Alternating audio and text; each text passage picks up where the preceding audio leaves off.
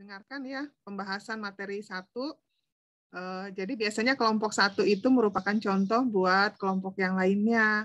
Kalau kelompok satu itu wajar kalau masih grogi gitu ya, tapi mudah-mudahan ini ke depan kelompok dua dan seterusnya itu bisa mengambil pelajaran. Jadi uh, oh ya sebelum saya lupa, jadi setiap uh, selesai diskusi tolong dicatat oleh moderator nama-nama penanya, namanya aja. Kalau pertanyaannya kan saya sudah menyimak, cuma saya biar apa hafal gitu ya namanya. Kamu catat namanya, terus kamu uh, upload di kolom itu loh, di kolom kamu upload makalah tadi. Yang lain tolong di mute dulu ya, biar nggak flashback suara saya. Oke. Uh, jadi udah bisa dipahami ya, semua moderator Eh, mulai dari kelompok satu dan kelompok berikutnya, khawatir saya nanti lupa, setiap penanya itu ditulis aja namanya, terus kamu posting di di kolom makalah yang kalian upload tadi, jangan di postingan absen. Jadi kalau saya posting absen itu khusus untuk uh, daftar hadir. Tapi kalau eh, nama-nama penanya makalah itu di kolom pemakalah sendiri gitu, bikin sendiri. Terus yang selanjutnya saya ingin menambahkan menambahkan materi yang tadi. Kalau yang sudah dibahas tidak akan saya uh, jelaskan lagi biar efektivitas waktu kita ya. Nah, selanjutnya kita hari ini kan bahas tentang konsep uh, ruang lingkup uh, apa tadi manfaat mempelajari sejarah gitu ya. Sebetulnya di di Google Classroom saya juga sudah mengupload video. Saya coba bikin konten YouTube baru nyoba gitu tentang tema hari ini. Eh, baiklah, tapi saya juga akan eh, menambahkan selain yang sudah saya upload di YouTube tersebut. Jadi kalau kita hari ini belajar tentang sejarah, eh, tadi sudah dibahas gitu ya pengertian sejarah, asal katanya. Nah, itu tidak akan saya bahas lagi. Kemudian tentang ruang lingkup sejarah gitu ya. Nah, sebenarnya ruang lingkup sejarah itu setidaknya oleh sejarawan itu dibagi menjadi empat. Yang pertama misalnya sejarah itu sebagai ilmu, kemudian sejarah sebagai kisah, ada juga sejarah uh, sebagai seni gitu ya. Nah, kalau sejarah sebagai peristiwa itu kaitannya misalnya uh, ada peristiwa kemerdekaan Indonesia, kemudian sejarah berdirinya eh, PBB atau misalnya peristiwa Sumpah Pemuda gitu ya. Nah, itu adalah sejarah sebagai sebuah peristiwa gitu ya.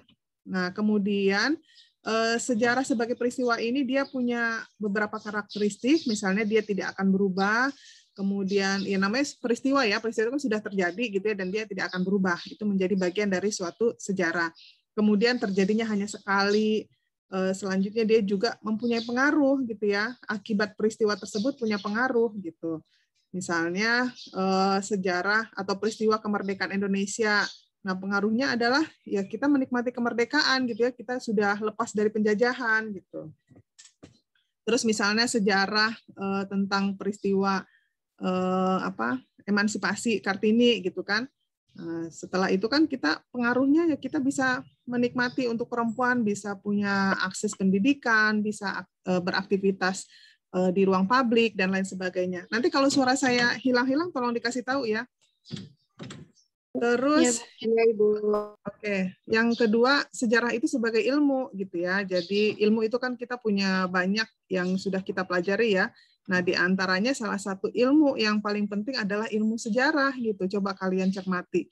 Di semua jenjang pendidikan di Indonesia ya, terutama saya memberi contoh Indonesia, itu ilmu sejarah itu kan dipelajari dari SD, bahkan dari TPA ya, misalnya sejarah Nabi Muhammad untuk meneladani eh, keteladanan Nabi gitu kan.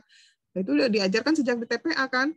Nah, kemudian kalau di SD, SMP, SMA, bahkan sampai kalian kuliah, eh, kalau kalian kan kuliahnya baru S1 ya, saya sudah kuliahnya udah tiga kali, S1, S2, S3, itu semua mempelajari sejarah. Jadi dari awal kita semua jenjang pendidikan itu ada ilmu sejarah gitu ya. Eh, jadi sejarah sebagai ilmu. Nah, sejarah sebagai ilmu ini dia fungsinya itu membahas kebenaran ya dari sejarah itu sendiri secara objektif gitu. Jadi eh, misalnya ya, eh, kalau kita mempelajari satu sejarah, maka kita tidak boleh hanya dari satu sumber gitu ya. Karena kalau dari sumber itu ada subjektivitas sisi sejarawan gitu ya. Namanya manusia itu kan pasti ada subjektivitas, ada like and dislike gitu kan. Belum lagi ada pengaruh kekuasaan gitu ya di mana uh, pemerintah yang berkuasa pasti dia kan uh, punya kecenderungan atau punya kepentingan gitu ya. Nah, misalnya nih uh, contoh subjektivitas itu ya. Kalau kalau cerita tentang G30 SPKI Eh, pada masa eh, versi versi orde pemerintah orde baru itu kan eh, ada ada yang ditokohkan, ada yang dijadikan pahlawan gitu. Tapi ketika misalnya era itu sudah berakhir, sudah tumbang, beralih kepada penguasa baru, si tokoh pahlawan itu versi penguasa yang baru kan bukan lagi sebagai pahlawan gitu kan, bisa saja terbalik gitu. Ya. Jadi tergantung pemerintah saat itu gitu. Nah kemudian sejarah itu pengetahuan masa lampau gitu ya. Jadi kita mempelajari peristiwa yang terjadi masa lampau, uh, disusun secara sistematis, kronologis gitu ya. Kemudian dengan metode kajian yang ilmiah gitu ya sehingga sejarah itu adalah ilmu yang menjadi sarana untuk pendidikan karena bisa menambah wawasan pengetahuan. Nah, sejarah sebagai ilmu ciri-cirinya itu bersifat empiris, memiliki objek, terus ada teorinya, punya metodenya, kemudian generalisasinya itu berdasarkan penelitian yang telah dilakukan. Jadi sejarah itu ada penelitiannya gitu ya, tidak hanya uh, kola wakila gitu ya. Apa kola wakila itu uh, kata orang gitu ya, nah, tetapi diteliti kebenarannya. Nah, contoh dari ruang lingkup sejarah sebagai ilmu adalah penelitian yang meneliti peristiwa sejarah. Nah, bagaimana cara kita menelitinya? Bisa dari fosil. Fosil itu kan uh, apa namanya yang sudah tertimbun ribuan tahun gitu loh. Uh, contoh uh, bagaimana kita bisa membayangkan zaman dahulu kala itu ada apa dinosaurus gitu ya. Padahal sekarang ini kan sudah tidak ada hewan dinosaurus gitu ya. Nah, penelitian tentang fosil digali gitu ya dengan alat misalnya detektor gitu ya yang bisa bisa merekam di kedalaman tertentu gitu ya sehingga diketahui ada ada fosil atau kadang-kadang secara tidak sengaja ditemukan. Misalnya petani yang mau buka lahan gitu kan terus dia lagi mencangkul eh, tiba-tiba saja dia menemukan eh, fosil bisa menemukan kadang menemukan candi kadang menemukan misalnya kalau kalian lihat di berita-berita tuh ya eh, petani-petani di Jawa terutama karena dulu kan pusat pusat kerajaan-kerajaan itu kan banyaknya di Pulau Jawa itu ya. Soalnya dia nggak sengaja tuh lagi nyangkul lagi mau buka sawah gitu ya terus eh, nggak sengaja eh, cangkulnya itu ngegetok batu gitu ya. Pas digali ternyata bisa jadi candi. Jadi eh, candinya itu sudah tertutup tanah. Atau bahkan pernah juga saya lihat ada yang di di Sumatera Selatan. Jadi di sungainya itu dia menemukan beberapa macam perhiasan zaman kerajaan dulu berupa emas dan lain sebagainya. Karena aliran sungai gitu ya. Eh, terkikis ya yang di pinggiran sungai itu terkikis akhirnya terbawa aliran sungai. Nah itu di antaranya eh, penelitian-penelitian itu. Nah kemudian misalnya bisa juga dari prasasti. Prasasti itu yang tulisan-tulisan di batu. Kemudian ada juga situs-situs kuno. Kemudian misalnya ada candi ada makam. Di makam itu kan biasanya ada nisan ya.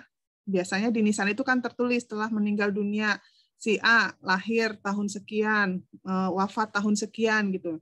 Nah, dari tahun hmm. itu kadang-kadang bisa di dicocokkan dengan bukti sejarah lain, misalnya dengan prasasti. Eh, di prasasti itu kan sekarang juga suka ada prasasti ya di zaman modern ini. Kalau kalian lihat di masjid-masjid atau misalnya di gedung-gedung itu kan ada lempengan batu granit itu biasanya. Eh, misalnya Masjid Fatullah diresmikan oleh Presiden RI bla bla bla tahun sekian tanggal sekian gitu. Nah itu itu juga nanti eh, bisa dicocokkan. Jadi tahun di prasasti kemudian misalnya tahun di eh, makam nisan itu nah itu dicocokkan apakah dia sejaman. Nah pada tahun itu nanti kan ada pembabakan penelitian sejarah lainnya gitu ya. Tahun sekian itu periodenya kerajaan siapa rajanya siapa gitu ya. Nanti baru dicocokkan menjadi satu Eh, penelitian sejarah dan bisa uh, jadi cerita sejarah yang komprehensif gitu. Nah, kemudian uh, misalnya dari situs-situs kuno juga ya, uh, dari candi-candi gitu. Nah, kadang-kadang di candi-candi itu juga kan ada relief-relief gitu ya. Kalau kalian pernah ke beberapa candi, contoh misalnya yang candi besar di Borobudur, itu kan dia ada relief-reliefnya. Nah, relief itu biasanya menggambarkan satu peristiwa tertentu pada masa itu. Bisa tentang kepercayaannya, bisa tentang aktivitas kesehariannya, gitu kan. Nah, itu itu juga jadi satu uh, bukti sejarah.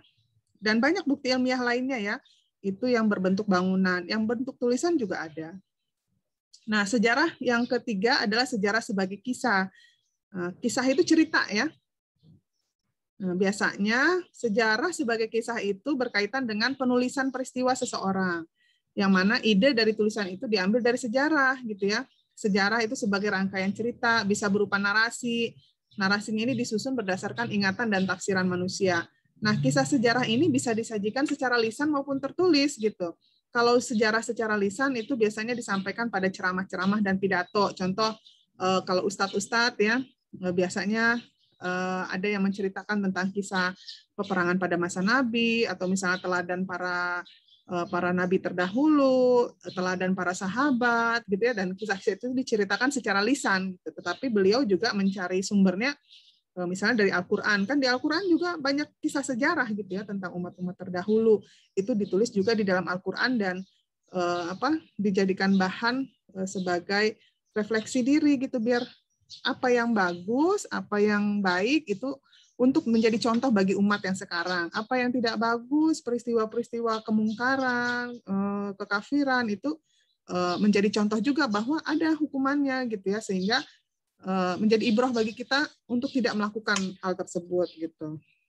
Nah, kemudian kisah-kisah secara lisan ini ada juga yang ditulis gitu ya. Kemudian disampaikan dalam bentuk cerita pendek gitu ya misalnya di jurnal, di majalah, di buku gitu ya. Eh, bahkan kadang-kadang kalau sekarang ini cerita-cerita sejarah itu sudah mulai dikemas dalam bentuk yang menarik. Eh, misalnya dalam bentuk film, dalam bentuk sinetron, dalam bentuk apa komik, dalam bentuk novel dan lain sebagainya. Tetapi biasanya sejarahnya itu hanya sebagai latar aja gitu ya, sebagai background cerita cerita ya apa narasinya itu sudah mulai disesuaikan dengan kebutuhan pangsa pasar gitu ya. Kan orang-orang tuh kan suka yang apa yang romantis gitu ya, yang pokoknya yang ya disesuaikan dengan pangsa pasar, tetapi ada sedikit latar ceritanya. Nah, misalnya sejarah sebagai kisah kalau yang di, udah dibentuk film ya atau sinetron, kalian ada yang pernah nonton itu nggak film Abad Kejayaan, film Turki? Masih menyimak? Enggak, Bu. Enggak, oh, enggak. Pernah, Bu. Enggak. Terus uh, kalau yang sinetron-sinetron ini cuma mau saya mau ini aja uh, review aja.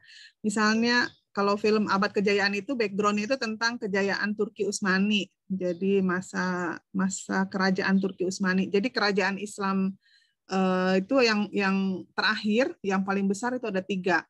Kerajaan Turki Utsmani, ada di Turki, kerajaan Mughal, Mughal ini ada di India.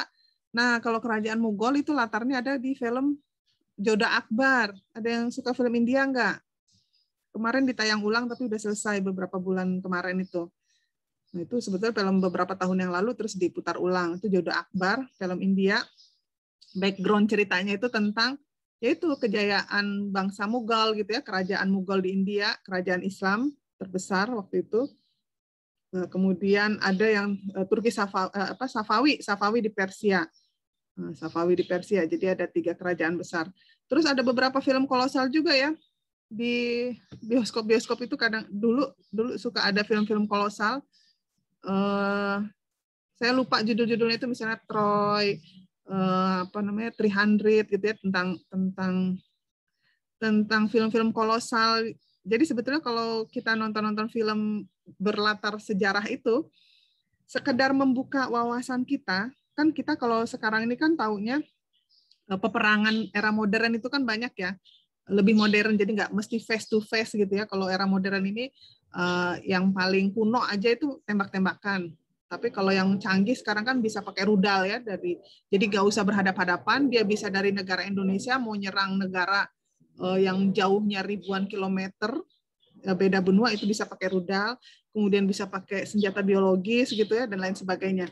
Nah kalau zaman dulu makanya kalau di film-film itu saya suka film-film kolosal yang berlatar sejarah itu kita bisa uh, apa oh membayangkan gitu loh nuansa atau suasana masa lampau itu kalau peperangan zaman dulu itu kan misalnya dia pakai ketapel uh, ketapel raksasa terus ada bola api di anu dilemparkan itu bisa menghancurkan benteng musuh terus misalnya kalau mau menyerang musuh dia bisa lewat laut atau bisa lewat kalau lewat darat misalnya dibikin formasi seolah-olah si musuh itu merasa menang ternyata dia sudah dikepung dengan formasi tertentu.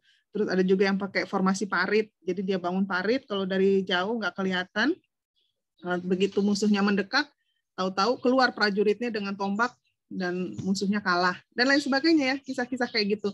Terus di YouTube juga banyak kisah-kisah tentang nabi gitu ya.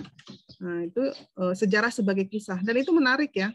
Untuk sebagian besar anak-anak perempuan nggak tahu nih kalau anak laki-laki kalau anak perempuan kan saya juga pengalaman gitu kalau dulu itu kan masa kecil kita itu sukanya itu dengan uh, cerita princess gitu ya bahkan sekarang kan di di film-film kartun itu kan tentang princess terutama Walt Disney itu kan menampilkan film-film princess gitu ya nah itu sebetulnya uh, ngambil dari latar kisah sejarah gitu ya cuma dikemas dengan uh, lebih modern lebih menarik gitu kan nah sebetulnya itu ya sebagai kisah gitu. Jadi kalau kalau kita suka sejarah gitu ya, kadang-kadang eh, menampilkan sejarah sebagai kisah itu menarik gitu ya. Ya seperti film-film itu gitu. Tentang ada ada putri, ada ada pangerannya, kemudian ada perebutan kekuasaan, ada oh, pokoknya intrik-intriknya itu eh, kalau disajikan menarik itu bagus sekali gitu ya. Misalnya kalian nanti jadi guru Nah, jadi guru sejarah, tadi kan ada pertanyaannya ya. Ada yang bertanya bagaimana menyajikan uh, pelajaran sejarah biar menarik. Nah, itu di antaranya bercerita seperti mendongeng, tapi kisah nyata gitu. Atau sekarang medianya banyak, bisa pakai apa?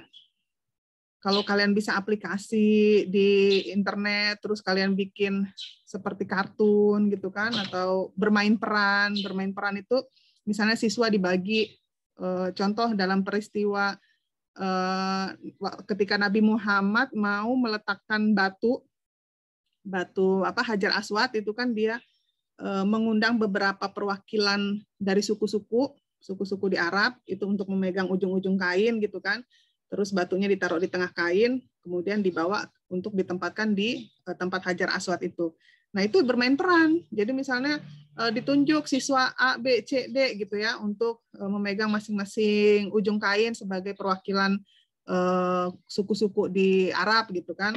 Kemudian ya gitu kira-kira ya. Jadi bermain peran gitu sebagai apa kalau zaman dulu namanya itu sandiwara gitu bersandiwara apa kayak main teater lah gitu. Nah itu juga menarik gitu ya. Jadi sejarah itu tidak monoton gitu. Kadang kalau karena kan tidak semua guru bisa menyampaikan dengan uh, tipe guru kan macam-macam ya ada yang ilmunya bagus pendidikannya tinggi gitu ya tetapi dia uh, pintar untuk dirinya sendiri agak kurang bisa untuk menyampaikan bisa diterima dengan baik oleh siswa tapi ada yang uh, biasa saja keilmuannya tapi ketika dia bercerita sejarah dia sangat menarik sangat bagus uh, siswanya antusias dan lain sebagainya. Nah guru harus bisa mengimprovisasi gitu ya. Apalagi sekarang eranya era digital gitu semua serba uh, internet. Dan di internet juga sudah banyak misalnya dengan menayangkan YouTube.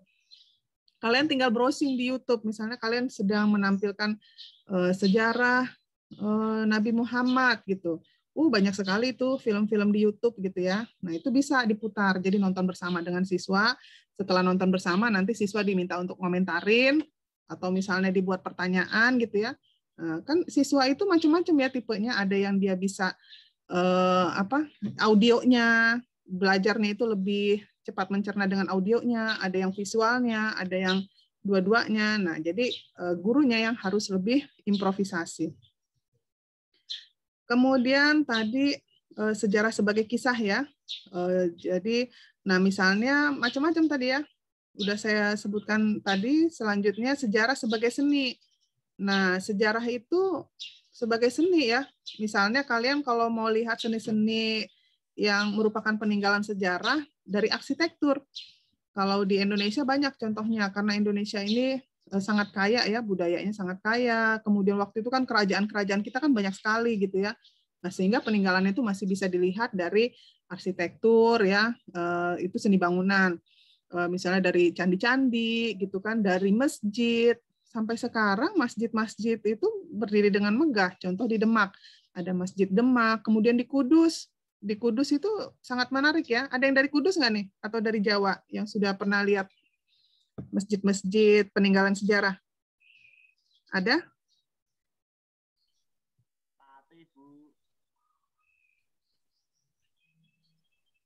Masih menyimak?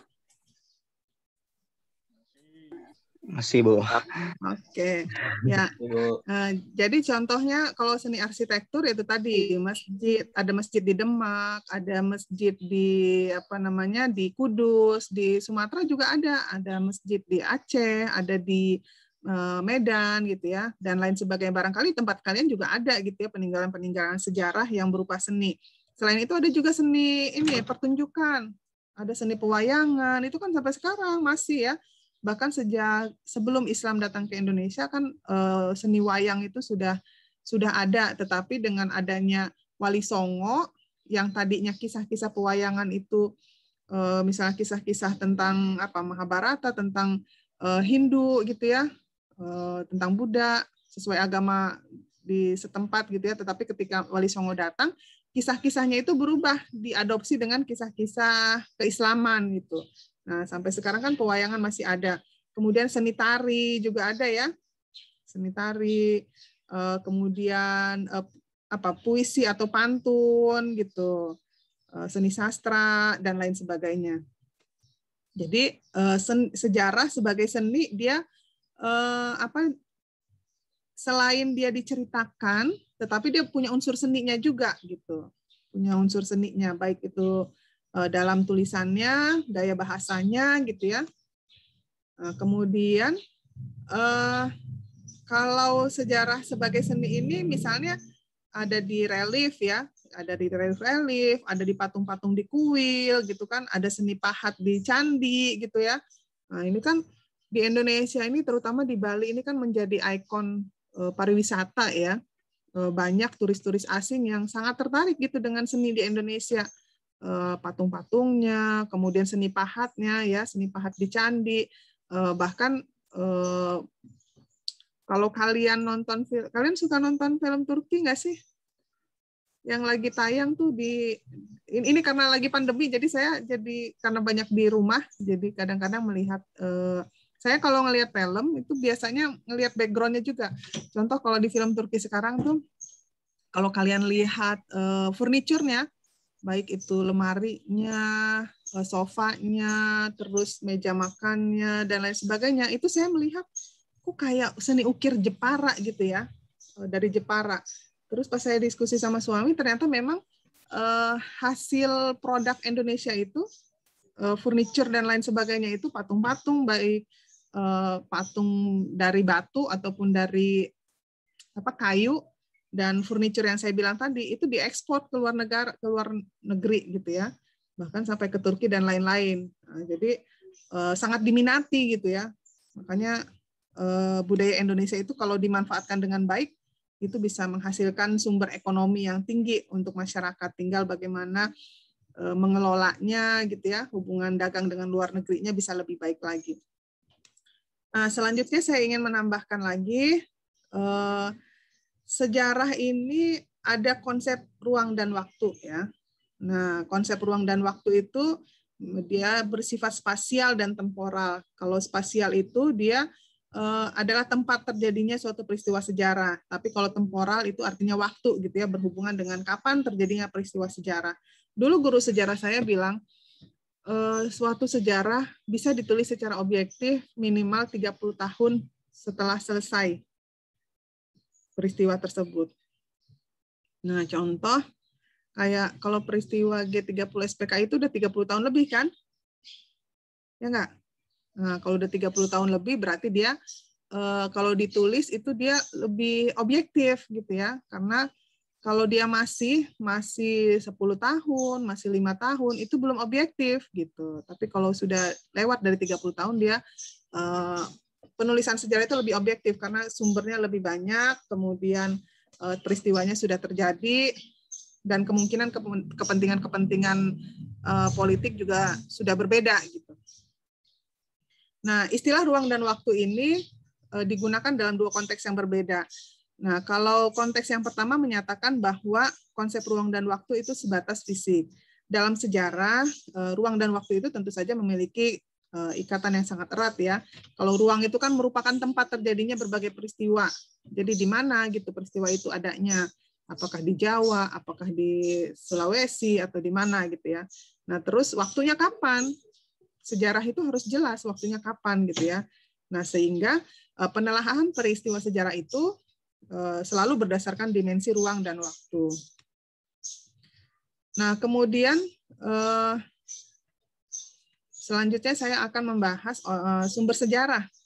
Nah, sumber sejarah ini uh, kita kan kalau berbicara sejarah itu bukan bukan karangan gitu ya, bukan ngarang. Peristiwa sejarah itu ada gitu dan berdasarkan bukti gitu. Jadi kalau kalau bukan berdasarkan bukti itu namanya gosip. Gitu. Jadi kalian kalau misalnya kan kalau dalam Islam itu dikatakan ketika kita mendengar satu berita jangan langsung mempercayai tapi harus tabayun gitu ya. Eh, kalau kita tidak tabayun, jatuhnya gosip gitu ya. Eh, bahkan fitnah itu kan lebih kejam daripada pembunuhan tuh. Jadi kalau orang tidak bersalah, terus pola wakila, gosipnya begini-begini, terus kita percaya dan berdampak pada eh, apa terhadap si korban gitu kan. Contoh di saya baca berita kemarin ya. Jadi ada satu siswa di Eropa persisnya saya lupa kemarin tuh bacanya di negara mana gitu. Jadi kalau nggak salah di Perancis ya.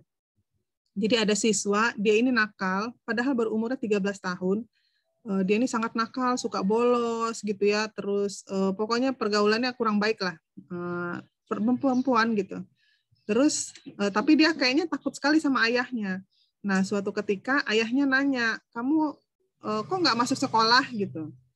Terus kata dia karena dia takut dimarahin oleh ayahnya, iya guru saya itu uh, memamerkan foto foto Nabi Muhammad, pokoknya foto kartun yang menjelekkan Nabi Muhammad gitu.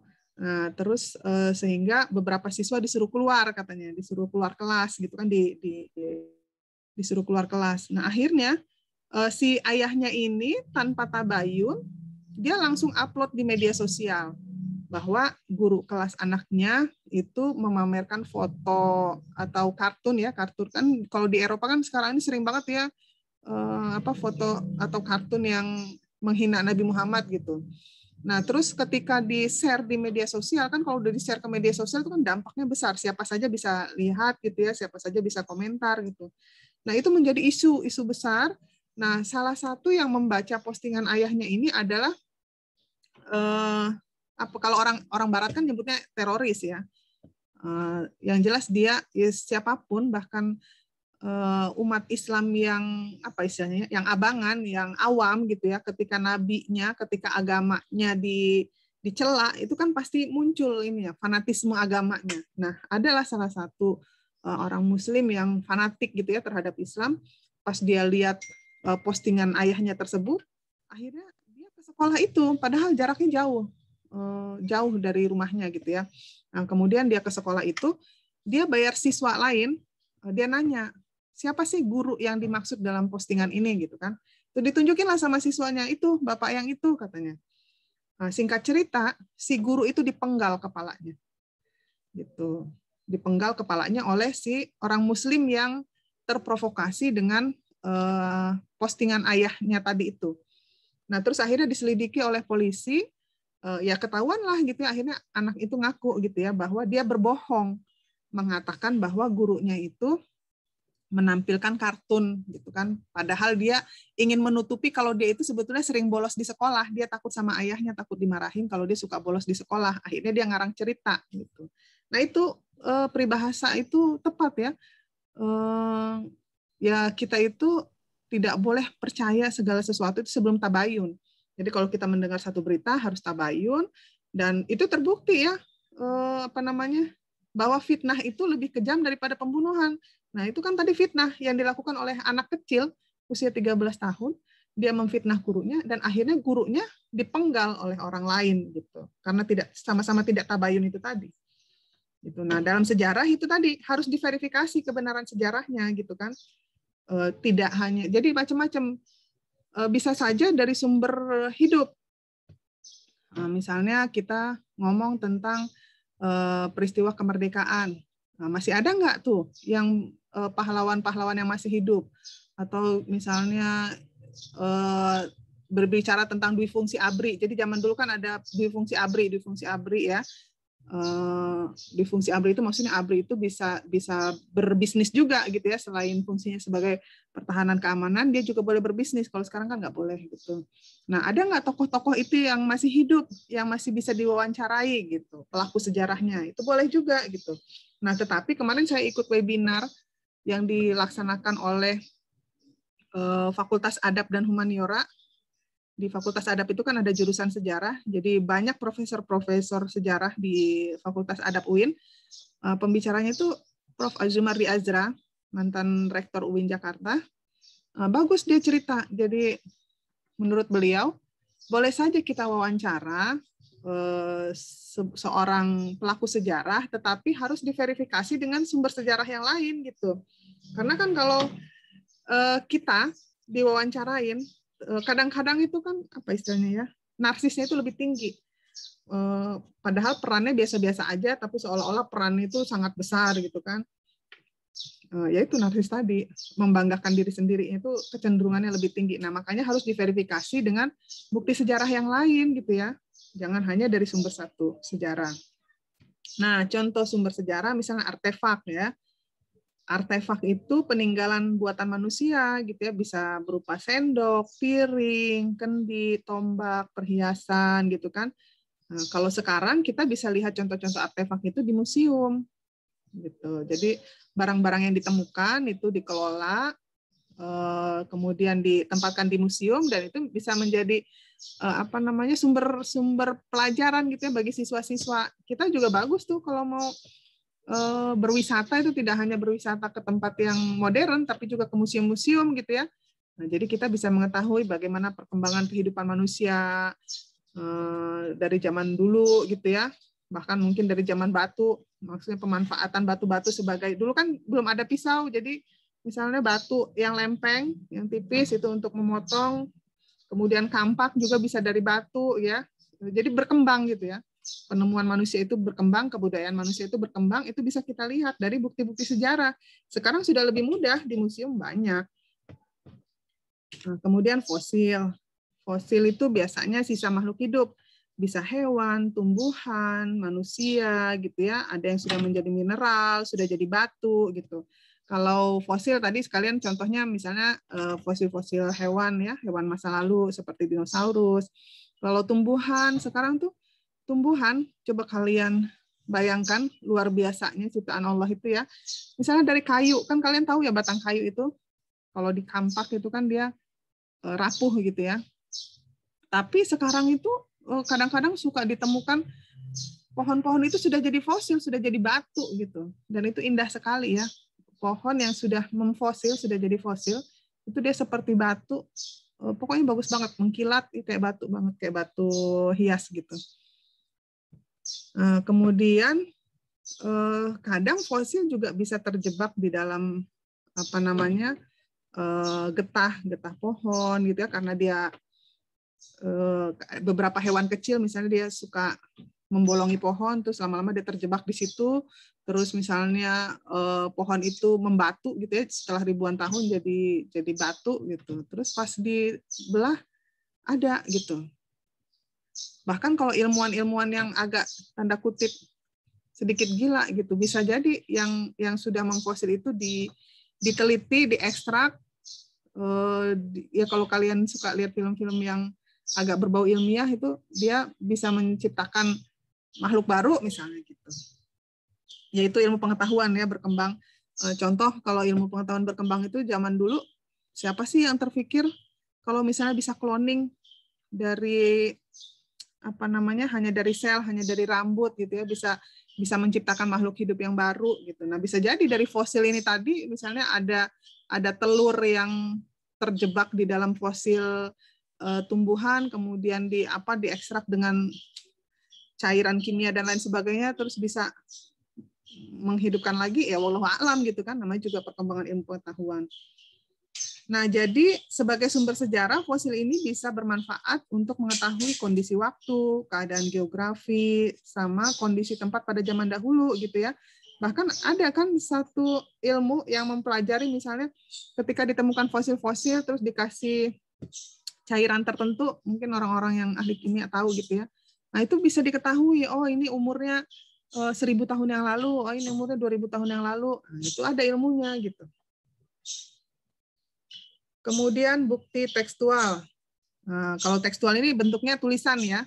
Bukti tekstual itu bisa uh, kalau sekarang kan kita kertas, udah zaman modern ini misalnya ada kertas gitu. Tapi kalau zaman dulu kan belum sebelum diciptakan kertas, orang menulis itu di mana saja. Bisa di batu, bisa di daun lontar, bisa di kulit hewan, bisa di tulang gitu kan, bahkan bisa di apa? Misalnya bambu dibelah-belah. Kalau kalian lihat film Cina tuh Eh, potongan bambunya itu dibelah-belah, terus diikat-ikat gitu ya, terus digulung gitu. Nah itu tulisan dia dulu di situ gitu. Makanya ya sekali-sekali nontonlah film-film yang berlatar sejarah. Jadi kita bisa eh, apa ya membayangkan eh, dimensi ruang dan waktu di masa lampau gitu ya. Nah, kemudian ilmu sejarah itu kan banyak ya.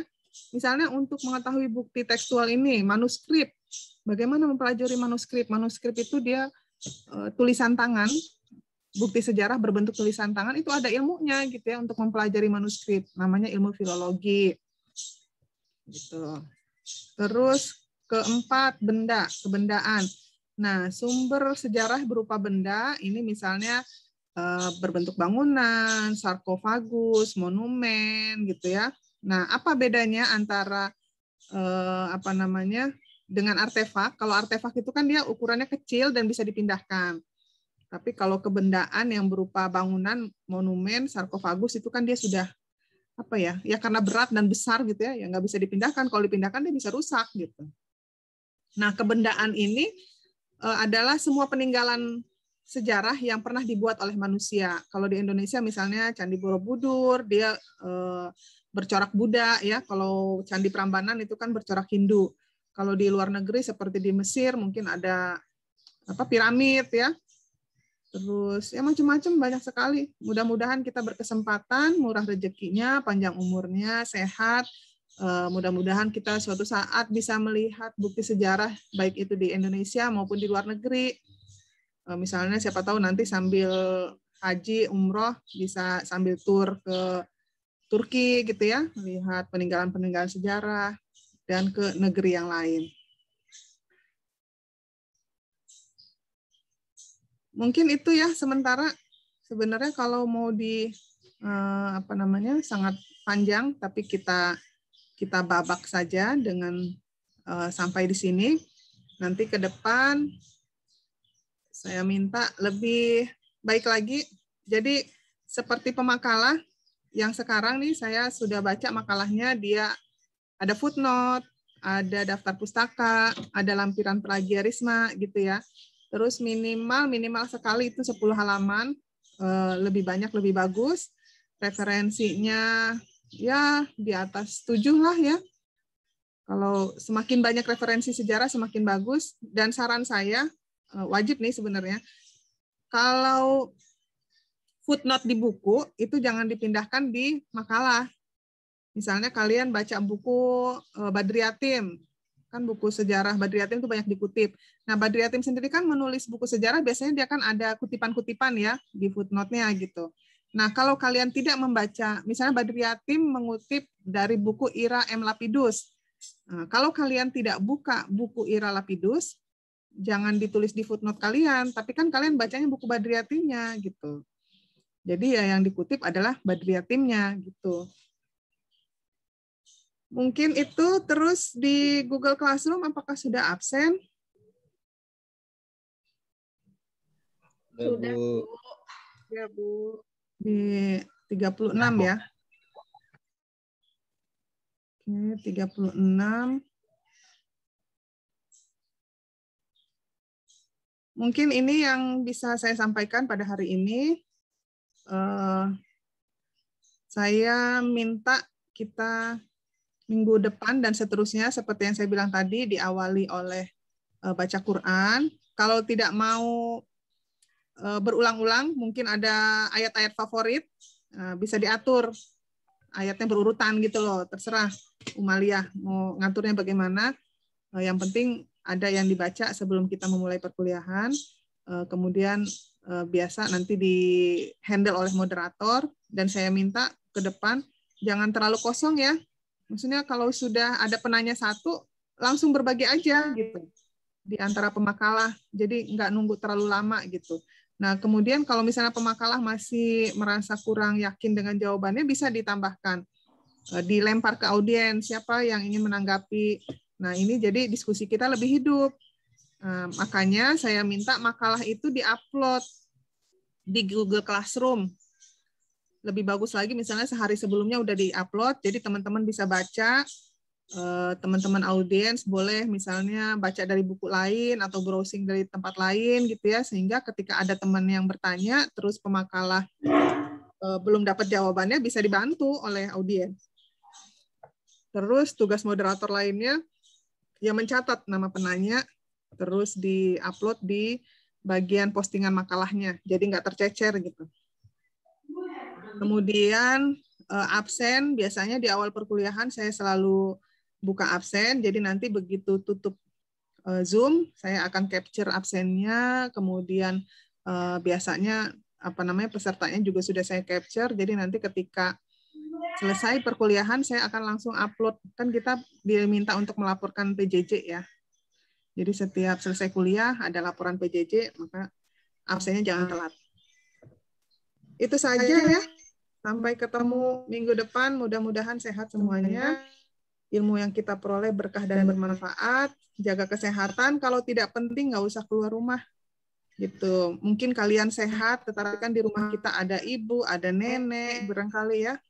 Nah, jadi kita saling menjaga. Mudah-mudahan sehat semua. Amin. Biasakan nyampe ke rumah itu semua yang dipakai itu direndam terus mandi jadi bersih baru ketemu orang rumah. Oke. Okay. Terus linknya selalu yang ini ya. Saya coba kemarin itu udah saya bikin setiap minggu linknya sama.